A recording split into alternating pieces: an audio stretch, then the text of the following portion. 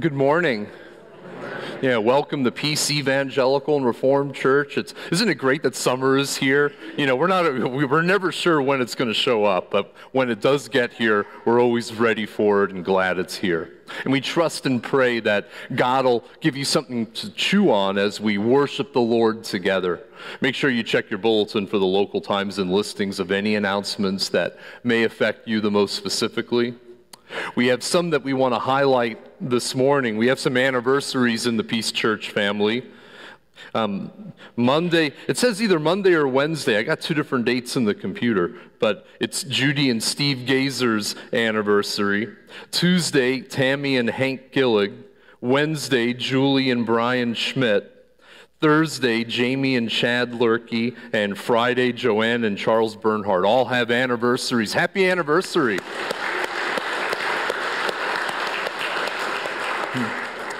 And we have some birthdays too in the Peace Church family. On Monday, it's Ann Leah's birthday. Tuesday, Paula Johnson's mom, Carol, celebrates her birthday. Wednesday, Craig Krieger turns 24. Thursday, Ivy Pfister turns four. Friday, Isaac turns nine years old. And Zach Wolfel has a birthday on the 15th of June. Happy birthday, everybody.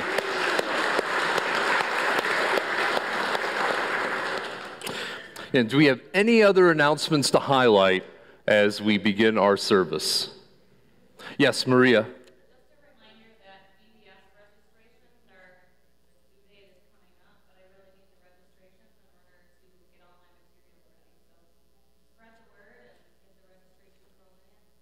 Okay, Vacation Bible School registrations are due in, and July 10th through 14th is VBS this year, right? That's coming up fast also over at Camp Forest.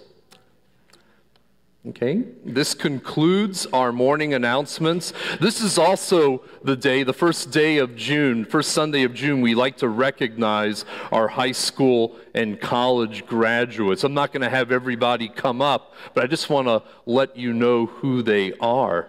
Um, Josh Newshart and Courtney Schwalbach graduated high school.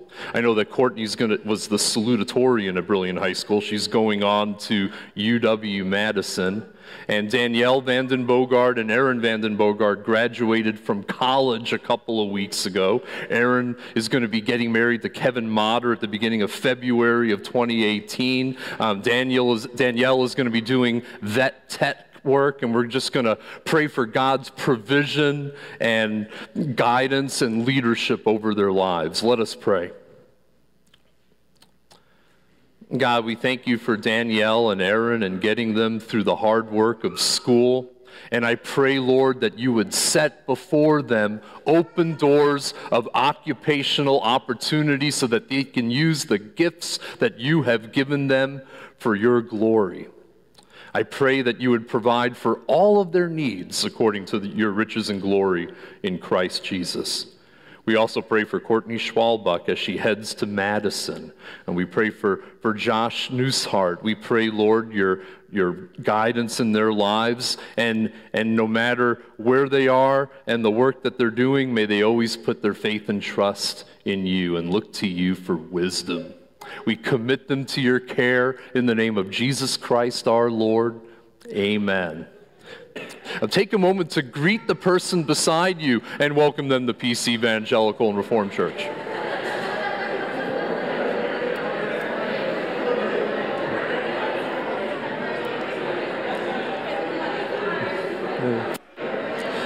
Hey, good morning. Hi, Carson, Reagan. Oh, morning. Good morning. Morning. Good morning. You done with school for the summer? Yeah. Congratulations.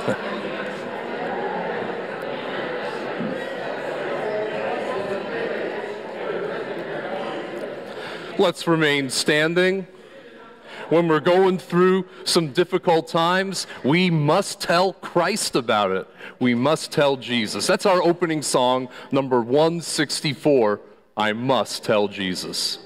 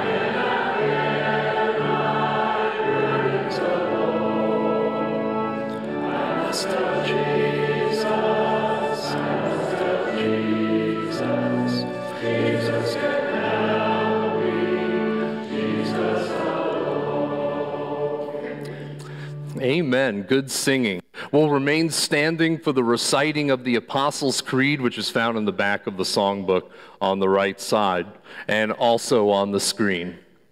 I believe in God the Father Almighty, maker of heaven and earth, and in Jesus Christ, his only begotten Son, our Lord, who was conceived by the Holy Spirit, born of the Virgin Mary, suffered under Pontius Pilate was crucified, dead, and buried.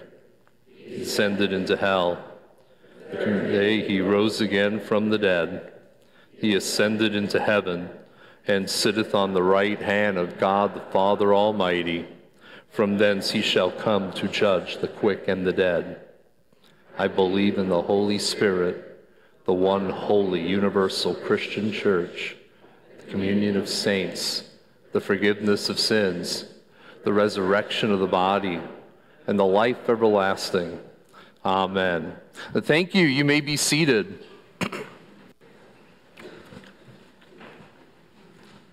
The kids can come up for the children's sermon.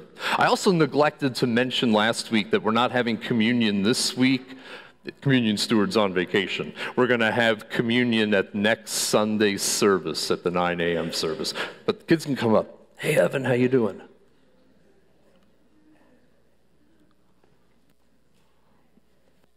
Hey, thanks for coming up. Hi, Corby. Good to see you. Well, thank you so much for coming up. Hi, how you doing? Good to see you, Reese. Hey, Bryce, how you doing? Sometimes we need help with things. If you're at school, who are people that you could ask to help you? Is there anyone at school that could help you? Your teacher, you can go to your teacher. What about at home? If, if, you need, if you're at home and you need help with something, who could you ask for help when you're at home?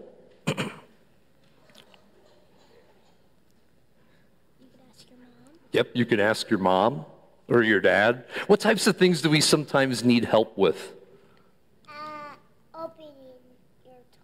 Opening your toys, okay. Yeah, or hooking them up sometimes. That's true. Or maybe you need help getting along with somebody, or you need help making the bed, or whether, whether you get it or not, it depends on the situation, but you probably will. Or you might need help with something outside, or maybe your bike is in the garage and it's stuck between the garbage can and the wall, and you can't get your bike out. You can ask your mom or your dad to help you get your bike out, right? But you know what? There's somebody else that we can go to for help anytime we want, even when there's no one else around. You know who that is? God. Very good. Number one answer on the board. The Bible says if we lack wisdom, we can ask God, and He's going to help us out. And so let's pray and, and thank God that He is there for us. Thank you, God, that you are there for us and we can ask you for help. And thank you for giving us moms and dads and teachers and friends and neighbors and, and individuals that we can trust and that we can get help when we need help. In Jesus' name, amen. All right. Here you go. Thanks for coming up. Good to see you, Corby. Here you go, Bryce.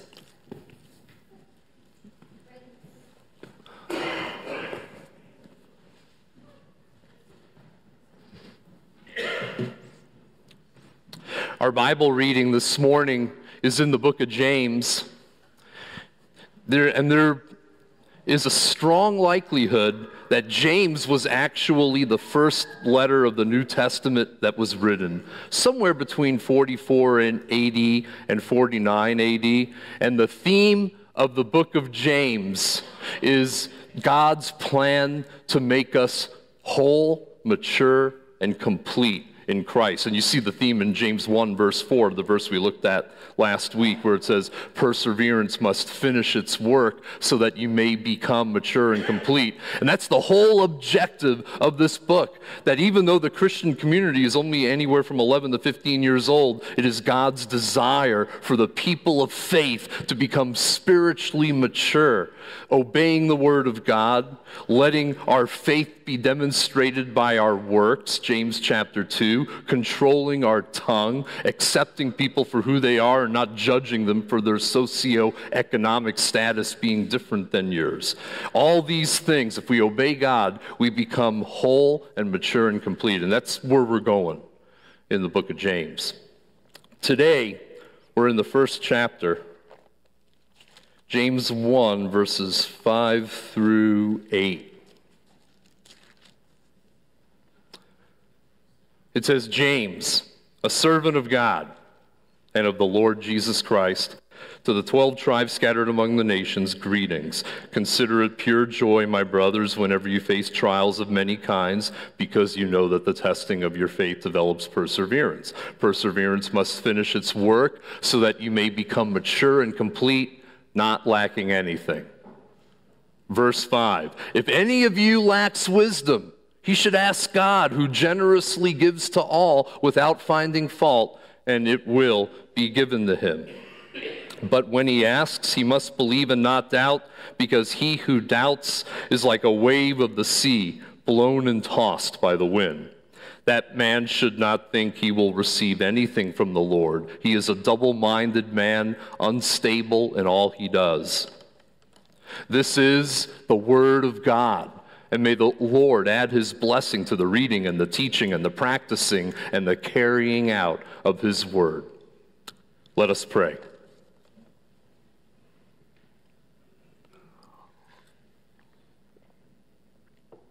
Father, we thank you for the scriptures. I pray now that the words of my mouth and the meditation of my heart would be faithful to the scriptures. In Jesus' name, amen. Years back, Muhammad Ali was teasing Joe Frazier about what he was going to do to him when they finally fought in the ring. Ali said in the first round, I'm going to float like a butterfly and sting like a bee. In the second round, I'm going to snap your head back with the jab. In the third round, I'm going to start doubling up and tripling up on the jab and dropping the occasional right hand. In the fourth round, I'm going to start putting punches together. I'm going to be landing combinations, lefts and rights and hooks and crosses and uppercuts. And Frazier says, Well, what am I supposed to do when I'm getting hit with all that? Sit here and twiddle my thumbs? And many of us are being hit with combinations this week, but we're being hit by life, and life hits harder than any physical punch. Maybe you're being hit with relationship problems, work problems, marriage problems, spiritual problems, academic problems, occupational problems, and it feels like the punches are coming from all angles and in combinations. Well, what are you supposed to do when you're getting hit with all that stuff? That's what James is going to talk about as we look at verses 5 through 8. The first four verses of James, we see God's plan for us in the middle of our trials. But beginning in verse 5, we see what our reaction and response should be while we're going through what we're going through. Because, yeah, it's terrific that God is accomplishing his purposes in our lives while we're going through difficulties, but what are we supposed to do while we're going through difficulties? How can we respond when life hurts? James says, let me tell you about it. James 1, verse 5 says, If any of you lacks wisdom, he should ask God. You guys know what the difference is between knowledge and wisdom? Knowledge is information. Wisdom is the ability to apply and utilize and use that information as an action plan in your life. For example, you might say, Lord, I am well aware that Matthew 5, verse 10 says, Blessed are those who are persecuted because of righteousness, for theirs is the kingdom of heaven. But I got to be honest with you, Lord, I don't feel blessed when that's happening to me. In fact, I, I feel miserable. I don't like it when people razz me and ridicule me and tease me because of my newfound faith in Jesus Christ. And you know what I really don't like? I don't like it when people deliberately take the name of Jesus in vain. They use the name of Jesus as an expression of, of exasperation, and they're doing it just to get a rise out of me. And I know that I should have a thicker skin than that and blow that off, but I guess my skin isn't thick enough, so I need wisdom. How should I respond to that? And after you pray that prayer, you go online and find an article in Christianity Today about how to deal with ridicule when your faith is being tested. And it says, first, thank God that you're a member of his family.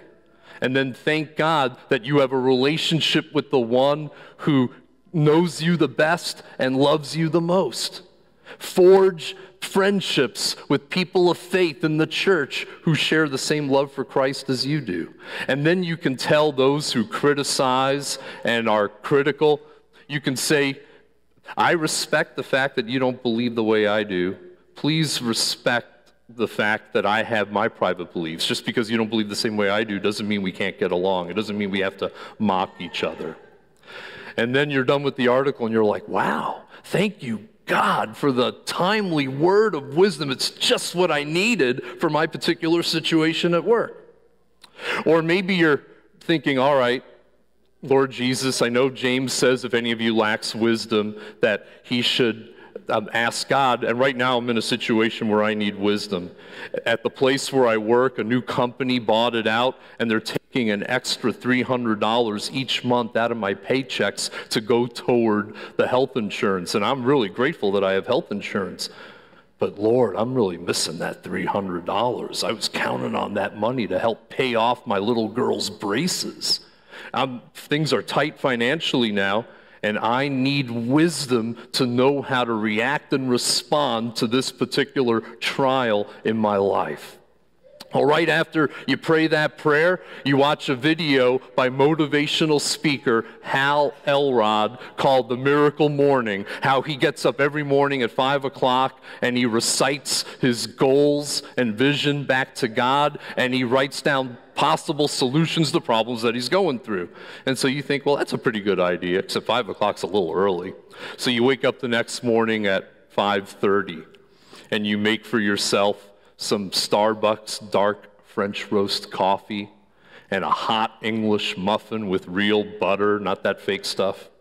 And you sit down at your desk and you say, Lord, I pray that you would manifest some wisdom so I can respond to this financial circumstance in my life. And you just start writing as the Lord gives you ideas. Number one, you can talk to the boss. You can say, I've worked here a long time. It's been a blessing and an honor to make a difference for the company. But man, I'm really missing that 300 extra dollars that's coming out of my paycheck. Is there anything I can do? Or is there anything we can do to try to get me closer to where I was so I can pay off my little girl's braces and get to work on putting a new roof on our house? Number two, you could start floating your resume out there and seeing if the Lord is going to open another door of opportunity. Number three, you could have a rummage sale or a garage sale, or you could sell something on Craigslist or Amazon.com or eBay and generate a little bit of extra money and start hitting that debt on the braces. Number four, you could put a flyer up in the post office saying that you're willing to help people with their computer problems. Number five, you could put a flyer up at the Kwik Trip saying you're willing to clip lawn for a day out of the week. Number six, this is not what you want to do, but you're willing to put in a resume for a part time, one day a week job to make up for the missing income. And you write all these things down and you say, Lord, I don't know which one is going to work. I don't know which one is best, but thank you for giving me the wisdom to attack this situation. Following week, you go talk to the boss, and he says, You have been a long time employee. You're one of the good ones. Let's look at your package. Let's look at the numbers. Let's crunch them. Let's see if it's possible to get you closer to where you need to be so you can take care of these things in your life. And then you go home and say, Wow, I was not expecting that to happen. I didn't think it, that was going to be the top choice at all. But Lord, you made a way when there seemed to be no way. Thank you for the miracle morning. I thank you for the wisdom. I thank you for the idea to do this and that you're helping me to work through this particular situation. And when James tells us we should ask for wisdom to help us to get through what we're going through, he may have had in mind the words of Jesus Christ himself from the Sermon on the Mount. Well, how do I know that? Matthew 7 7, Jesus says, Ask and it will be given to you. Seek and you will find. Knock and the door will be open. For anyone who asks receives, he who seeks finds, and to him who knocks, the door will be open. And in the context of Matthew, it's the same as in James that you can ask God for help when you're going through a difficult time. And in James 1, verse 5, he gives us some reasons why it's okay for us to ask God for wisdom for what we're going through. The first reason that he mentions is, so, is because God is a giver. Two times in James 1 5, it mentions that God gives. It says he generously gives to all without finding fault, and it will be given to him. And we know from John 3:16 that God is a giver because it says God so loved the world that he gave his one and only son that whoever believes in him should not perish but have everlasting life. Can you imagine talking to God and saying, God, I've been having this problem. I'm so worried. I'm so scared. I'm so stressed. I need your guidance. I need your wisdom. Can you imagine God with his arms crossed going, Nope. Nope, nope, nope, nope, nope, nope, nope. It's not happening. In fact, to tell you the truth, I forgot all about you until you started bugging me. No. God loves to give wisdom. Proverbs 2, verse 6 says, From the Lord comes wisdom, and out of his mouth comes understanding. Imagine it's a child's birthday, and the father and mother present him with a gift, and he opens it up, and it's a brand new Sony PlayStation 4. He says, this is just what I've always wanted. And there's even a couple of video games with it. Thank you for the new PlayStation. And he tears it open, starts hooking it up. He gets the controllers and puts them into the console. But then he notices he doesn't have an HDMI cable to connect the box to the TV, and it's not wireless. He can't use it. And he says, Mom, Dad, thank you so much for the PlayStation, but I can't use it because I don't have connecting cables. And the father laughs and goes, I know. I did that on purpose. I didn't want you to use the gift I gave you. what kind of a parent would do that? Of course, a parent would want their child to be able to utilize the gift that they have given him. And God is the same way. He already gave you the greatest gift of all when He gave you Jesus Christ on the cross and rose from the dead. Why wouldn't God also want to give you gifts that help you better experience the presence of Jesus in your life? Romans 8, verse 32 says, If God is for us, who can be against us? He who did not spare his own son, but graciously gave him up for us all, how will he not also, along with him, graciously give us all things, including the precious gift of wisdom? Another reason why James says we should ask God for wisdom is because he's a generous giver. He generously gives to all without finding fault. God's not going to say, you know what? I'm not going to give you wisdom because I gave you some last week. I helped you out in math class last week, so you don't get no help in social studies this week. I'm sorry. no, he's not that way. It's his heart's desire to respond with wisdom and gifts for his people. Some years back, Jeannie and I went to Door County and we went to a fudge shop in Egg Harbor called Gomi's Goodies. Anyone ever heard of Gomi's Goodies? I think they're still in business. You're going to have to Google it. But we went in there and the owner was so generous. He gave us samples of almost every bit of fudge he had in the store. I walked out of there with a sugar high. He had cherry fudge, chocolate chocolate fudge, chocolate fudge, of course, and all these different kinds of fudge I never heard of. And I said to Jeannie, man, we better buy some fudge while we're here. this guy's being way so generous. He's not going to have nothing left by the time we walk out. But that's the way God is. He is super generous, always giving out samplings of wisdom from the Word of God. Look at uh, 1 Kings chapter 3. Solomon becomes king over Israel, and the Lord appeared to him and said, You can ask me for anything you want. And Solomon said, Oh, let me think about that. You know what? You've shown me great kindness to allow me to become king over Israel, but man, it is a hard job to be a king.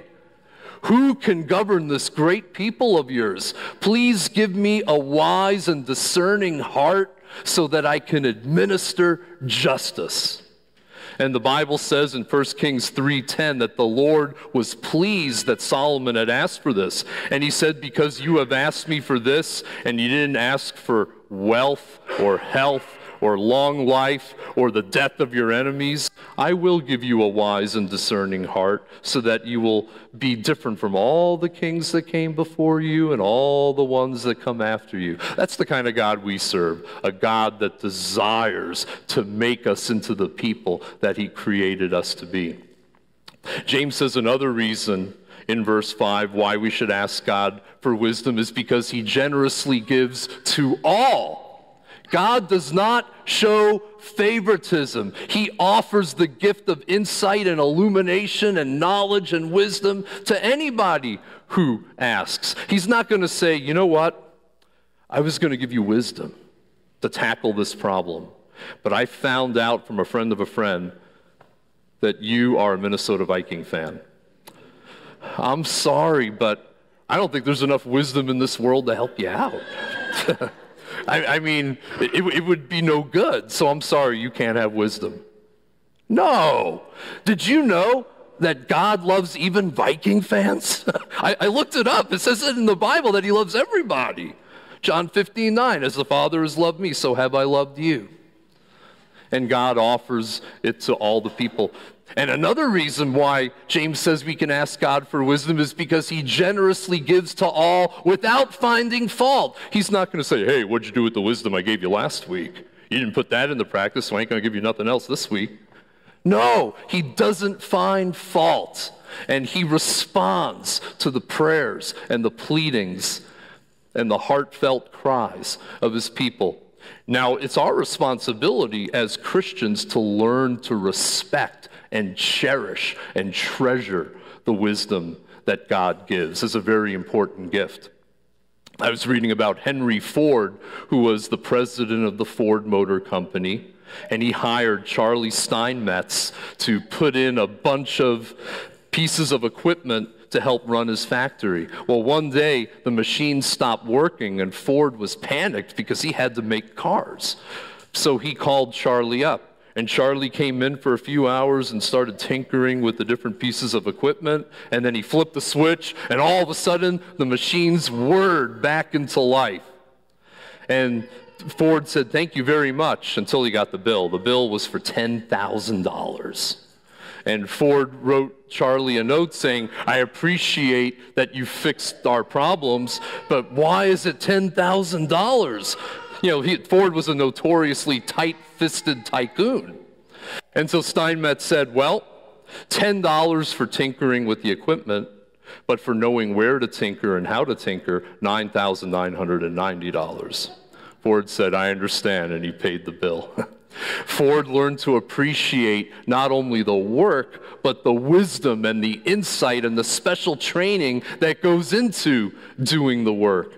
And as believers in Christ, we have to understand that the greatest gift of all that we have is eternal life through faith in Jesus Christ and his love. But after that, wisdom and understanding and knowledge is the greatest gift that we could ask for. I don't know about you, but I wish I could go back in time to the 18 year old Marc Axelrod and tell him a few things.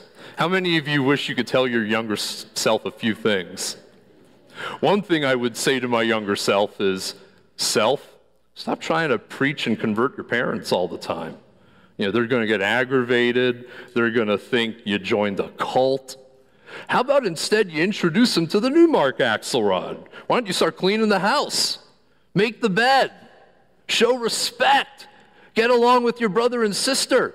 Let them see Christ in action, and maybe someday they'll be ready to hear about Christ with your words. Another thing I would tell my younger self is, hey, younger self, how you doing? I'm your older self. I want you to put $2,000 a year into an S&P 500 fund. Do that for 10 years. Don't touch it until you're 55, and there'll be more than a million dollars in there. You'll be able to retire and not have to worry about money. Can't do that. I am going to my nephew's high school graduation party in a couple of weeks. I'm going to try to drop that bit of wisdom on him. I don't know if he's going to listen or not. But don't you have things in your life that you wish you can pass on to your younger self? You won't be able to do that, but you can benefit from God's wisdom and knowledge today. I was just watching a program on TV where one girl was not getting along with another girl, and she said, I've been reading the Bible lately. And the other girl said, Don't be telling me about that religious stuff. And she said, But no, really, I've been reading it. And it's really got a lot of cool things to say, especially about forgiveness. Do you think the world would be a wiser and better place today if we listened more to what the Bible said about forgiveness? You betcha. So ask God for wisdom. James 1, verse 6 says, When you ask, you must believe and not doubt. You say, Well, wait a minute. How is that possible? I'm a human being. Of course, I'm going to have doubts and questions once in a while. Even John the Baptist had doubts, and he was the greatest man to ever live up until the time of Christ. It says in Matthew 11, he was thrown in jail for telling Herod that it's unlawful for you to be married to Philip's wife.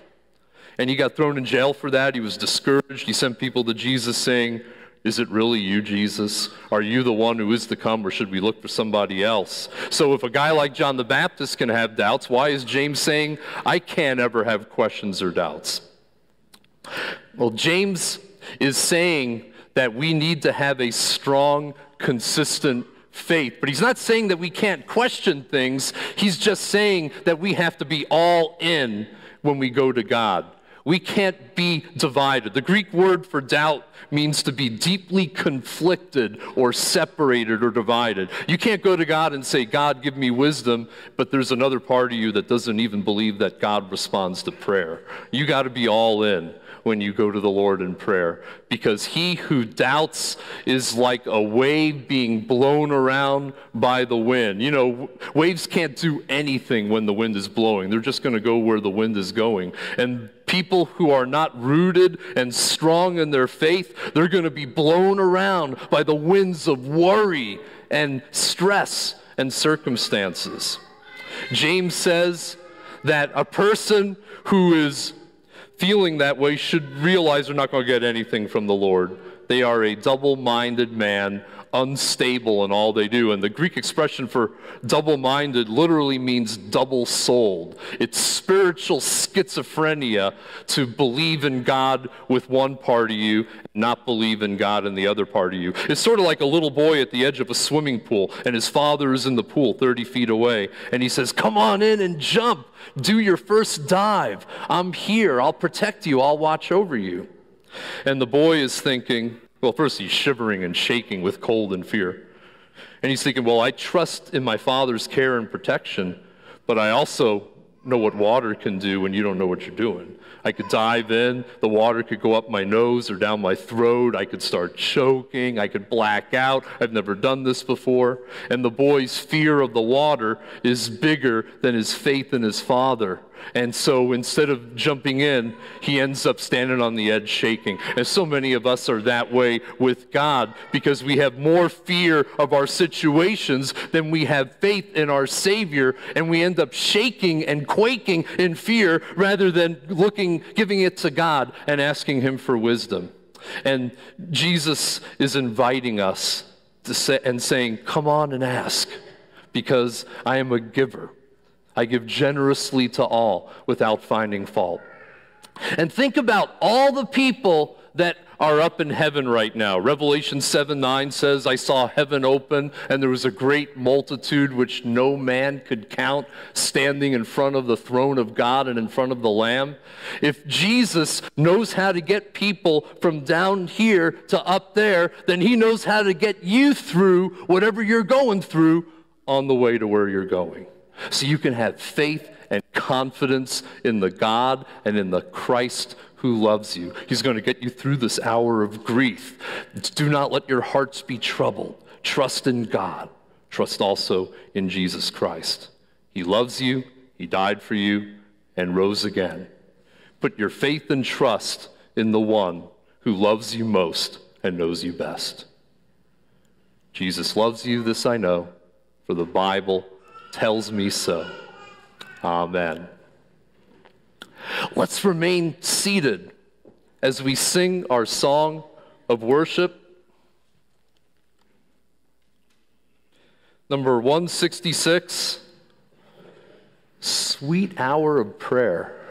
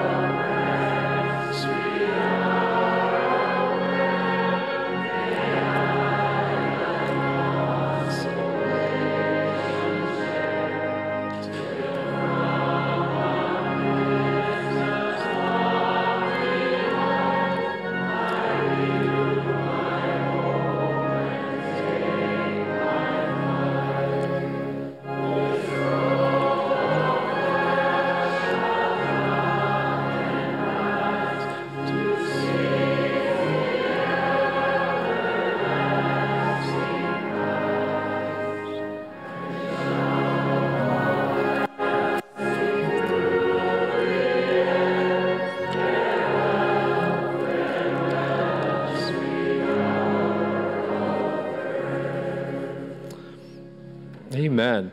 And, as we enter into this sweet hour of prayer, we want to remember um, Eunice Hubinger in prayer. Her son George passed away yesterday. Eunice is here with us today. That's Beverly Bowman and Sharon Allen's sister, and they're here today. And we just want to remember them in our prayers as they're going through what they're going through. We have any other requests? Yes, Lori.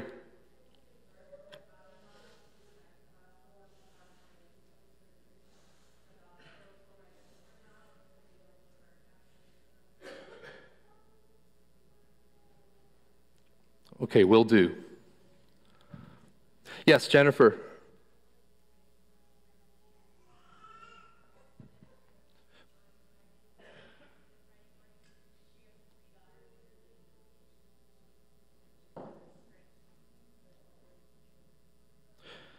Okay. What's her name?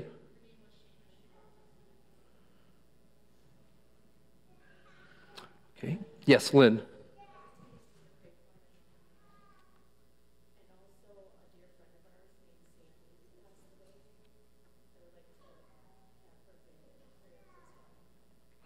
Okay, We'll do. Yes. I want to pray for my friend Brenda. She's going through a rough time. Her brother and her uncle both committed suicide, and so she's really having a rough time of it, and she needs the strength of God to pull her through this. Okay, will do. Yes, Billy. Yes. Will do. Okay. Yes, Tom.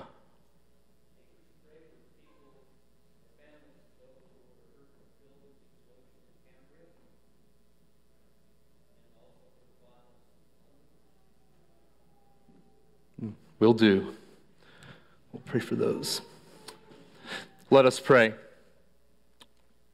God, I'm glad that we can pray to you and, and you invite us to come to you for fellowship. And we're not only praying to you for things we want, we're praying because we just like to have the intimacy. We just want to have the contact, just to be together.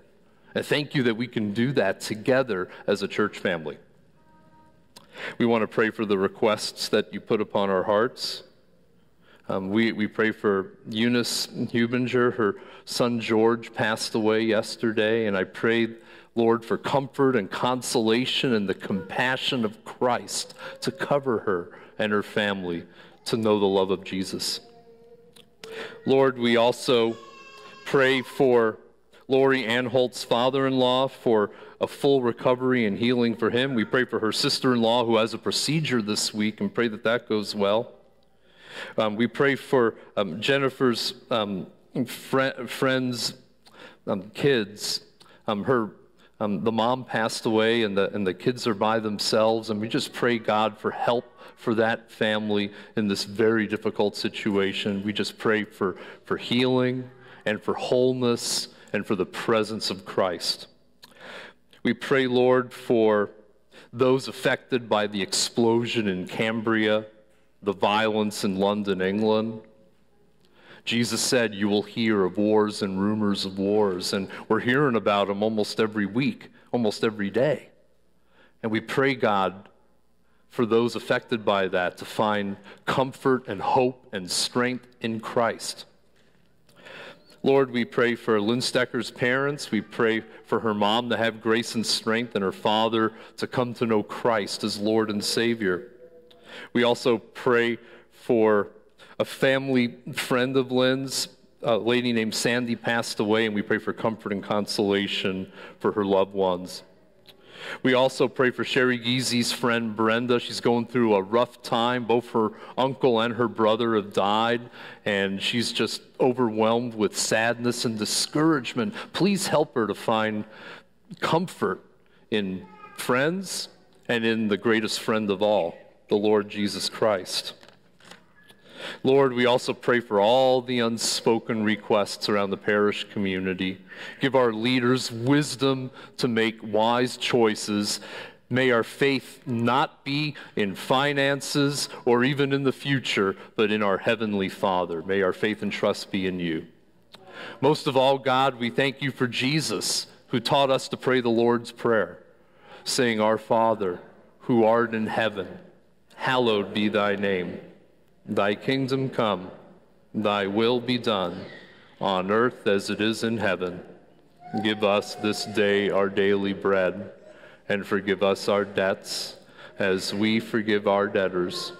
And lead us not into temptation, but deliver us from evil. For thine is the kingdom, the power, and the glory forever. Amen. As the ushers come forward, we'll take up the morning offering.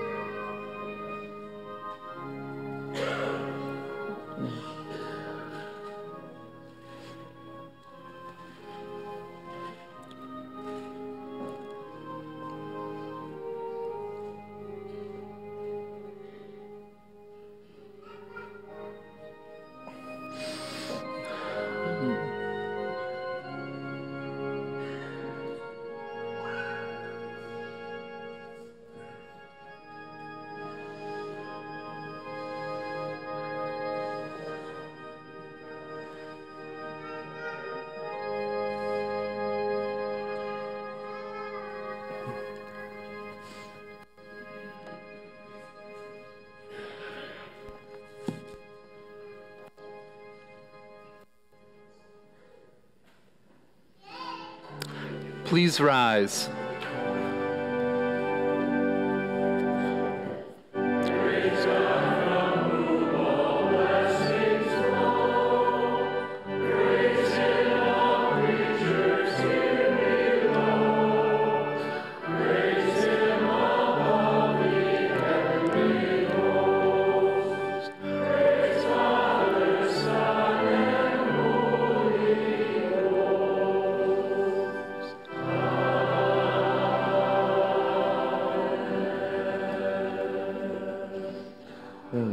Thank you for these gifts and help us to use them for the work of the ministry. In Jesus' name, amen. Let's remain standing for the closing song of the service, number 162. What a friend we have in Jesus. Number 162.